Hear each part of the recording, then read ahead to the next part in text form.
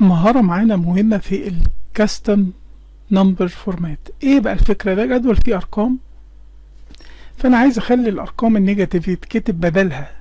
ناقص negative وال zero يتكتب بداله zero وال- والموجب يتكتب بداله يعني يتلون باللون ده. وطبعا مع الألوان دي.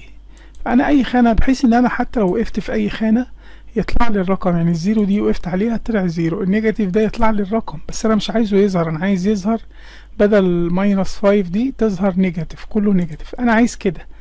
فأنا عندي آه إن أنا بعمل تنسيق لل custom format هشرح بس اللي أنا كاتبه ده. إن عندي أول جنرال دي جنرال يعني رقم عام. اما أعمل semicolon general تاني يعني ده و semicolon و general تالت. ده الرقم الموجب وده الرقم السالب. لما أحط وقبليه إشارة سالب وده الصفر. فلو أنا جيت عملت كان ممكن أشيل كلمة جنرال اللي هو التنسيق العام وأحط بدلها صفر. وهيبقى أما أجي أعمل كده صفر semicolon صفر semicolon هما هيؤدوا لنفس النتيجة.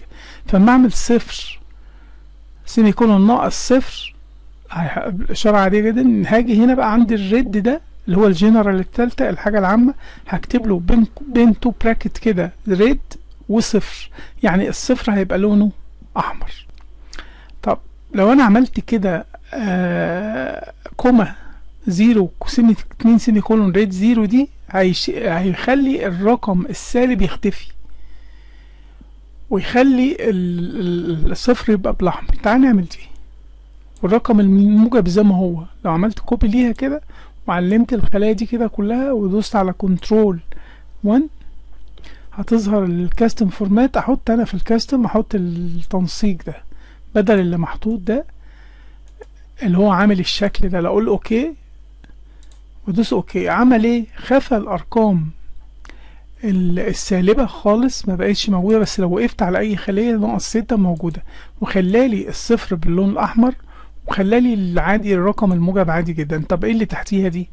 هيخلي الرقم موجب وهنا هيخلي السالب هيحطه بين قوسين ويحط لو في يزود صفرين في الناحية دي ويخليه أزرق وال وال وبدل الصفر هيحط علامة آه هيخليه أحمر ويحط الرمز red. هعمل copy للتنسيق ده وأس... وبرضك أسلكت الجدول ده كده.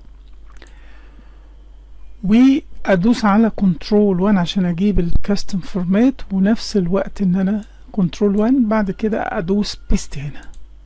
العلامة دي مش كل العلامات بيبقى قابلها فانا هخلي العلامة ديت علامة ناقص بس مش أكتر من كده.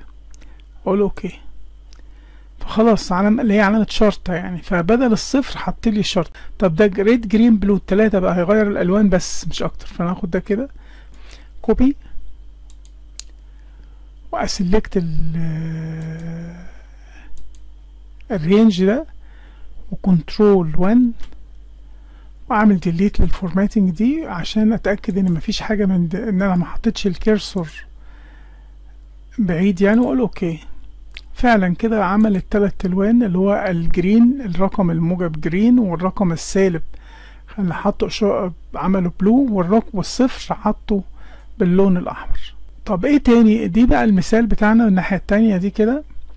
لو أنا عايز أكتب zero بس كلمة zero وال... والكتابة هنا ده مثال. يعني هيسيب الموجب زي ما هو وهيخلي ال... السالب بين قوسين وعلامة ناقص موجودة. ممكن أشيل علامة الناقص دي يبقى بين قوسين بس ويكتب كلمة zero. لازم لما أجي أكتب حاجة أحطها بين اتنين quote كده copy ال range ده كده بالمنظر ده و control 1 بعد كده أمسح ال formatting عشان أتأكد إن هو إيه. فعلا عمل لي اللي إحنا اللي أنا عايزه هنا. طب عايز أعمل دي؟ وده آخر مثال وبقية الأمثلة دي هسيبها لك في الملف.